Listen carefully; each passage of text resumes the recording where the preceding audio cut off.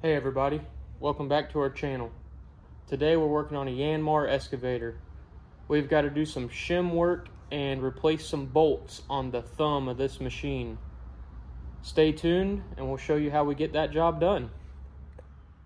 So as you can see here on the left side of our machine, the retaining cap that holds the pin through the thumb is about to fall off. Customer's done a little bit of everything he said, tried to put different bolts in it, different thread, tapped it out, put Loctite on it. He's done a little bit of everything trying to keep this retaining cap from, from beating its way off. And uh, as you can see on the other side, he's actually missing the one that goes here. He uh, was doing a big job and said he seen it fall off, but he just went ahead and kept on working and got it done. But anyways, we were looking at it the other day and realized that he's got about 5 sixteenths of an inch of gap here and about a quarter inch on this side. So what we're going to do is we're going to take and burn out some, I would call them donuts, but we're going to call them shims in this video. we're going to put a shim on this side and a shim on this side to tighten up the slop to keep these bolts from getting jarred so bad back and forth when this thumb moves. Another thing that we're going to go ahead and show you guys real quick is it has a half inch hole in the pin now, and we are actually going to upgrade that hole to a 5 eighths. And we're also going to go a little bit longer with the bolt that holds the retaining cap on, just to give it extra strength. Let's get to work.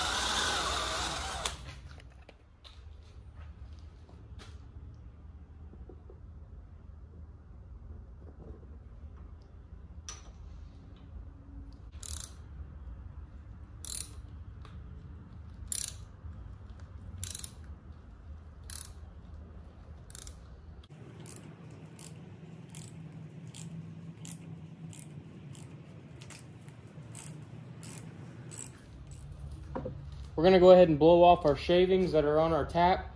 Starting to get in a little bit of a bond. See if that'll help smooth out the process of going through this hole.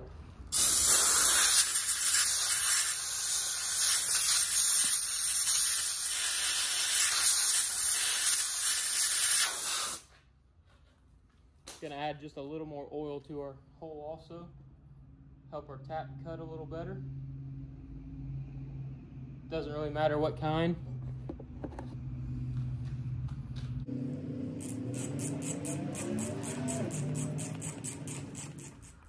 Now that we've got our other side tapped out and ready for the new 5 8 bolt, we're going to go ahead and do the same thing to this side.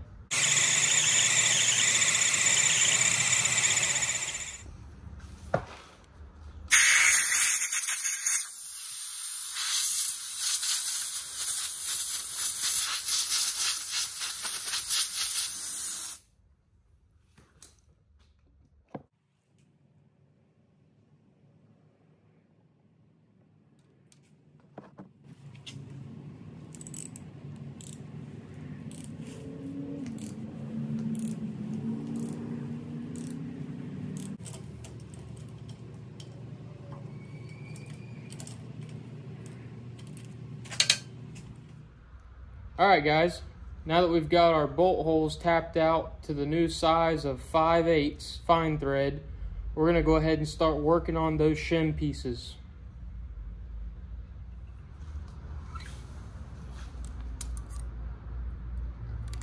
So we've got a two inch shaft or pin that goes through the whole piece here. So we're gonna cut a donut or a shim that is two inch ID and then it looks like the radius of this is roughly a four inch. So we're gonna cut a two by four inch OD shim that we will stick in between here and obviously the same thing on the other side to tighten up this thumb from slopping back and forth so much. So now that we're at the computer, we're kind of going to walk you guys through how we go about making our part. So first we're going to draw a 2 inch diameter circle, which is actually what we have on the screen. Then we're going to come in and make one more circle that's going to be a 4 inch.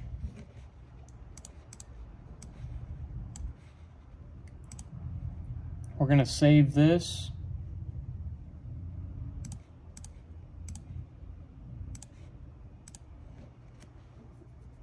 as a Yanmar excavator shim. All right, so there's our part. Now we got to load it into our software that our plasma table uses to cut it. So here we go, Yanmar excavator shim. We're gonna load that in here. Gonna go ahead and make a tool path so our machine knows how to cut this out. We're cutting quarter inch AR plate for this here. So we're gonna find our quarter inch AR steel. We're gonna set that at the right cut speed here. change our lead in to quarter inch. And boom, now that'll show you that it's gonna start here, come in, cut our inside, and then when it moves to the outside, it's gonna come from the outside in, cut our circle, and boom, we've got a shim. Obviously we're gonna need two of these, so I'm gonna put two, give them about a quarter inch gap in between, and go ahead and save this. Wrong button save that real quick. And now we're going to bring up our software for the table.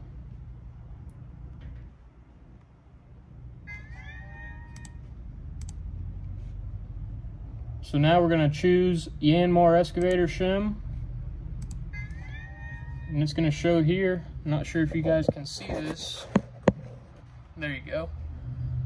So now you can see here that we've got our two shims up here in this little screen that shows our table placement and obviously it's not correct right now so we're going to have to move our table and zero it back out to our sheet of material that we're going to cut the shims out of.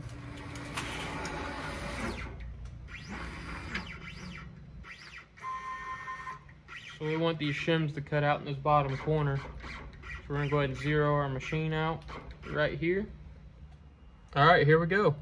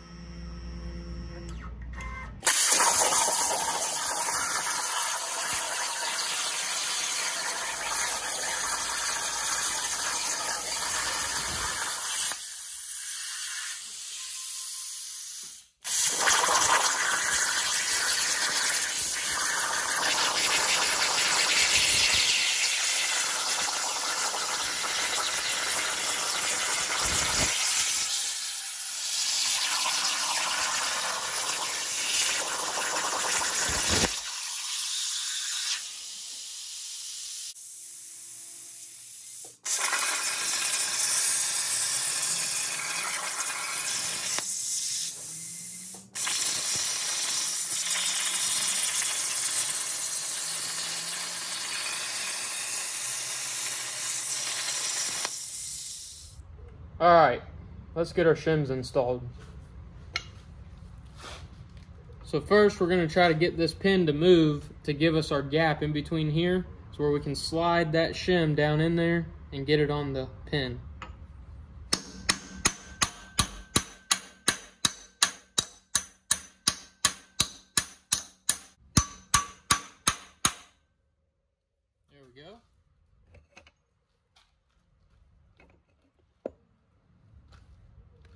Now we're going to drop our shim through here.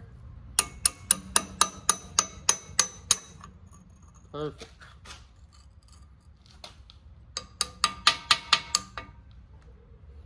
All right, let's see if we can get that shaft to go back through there now.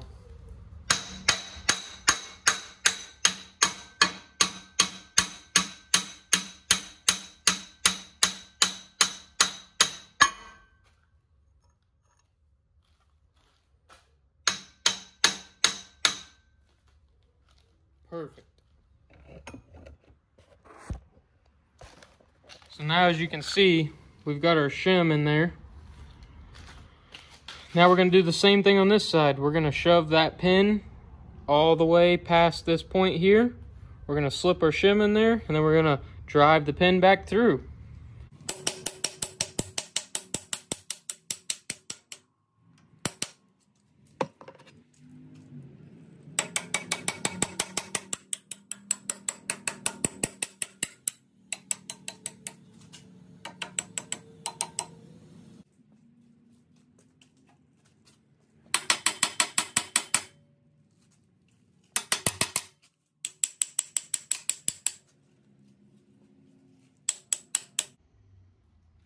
Perfect.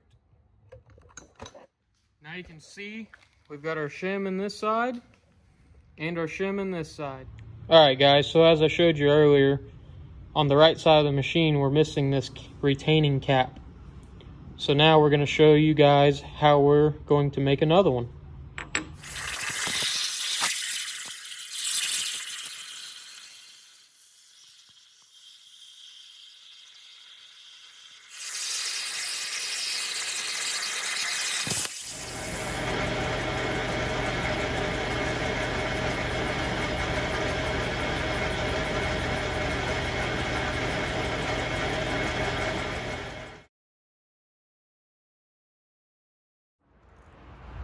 All right, so now that we've got our shims in, our new retaining cap made for this side here that I'm showing you, we're gonna go ahead and jump in the machine and operate that thumb up and down and make sure everything works like it should and is nice and tight.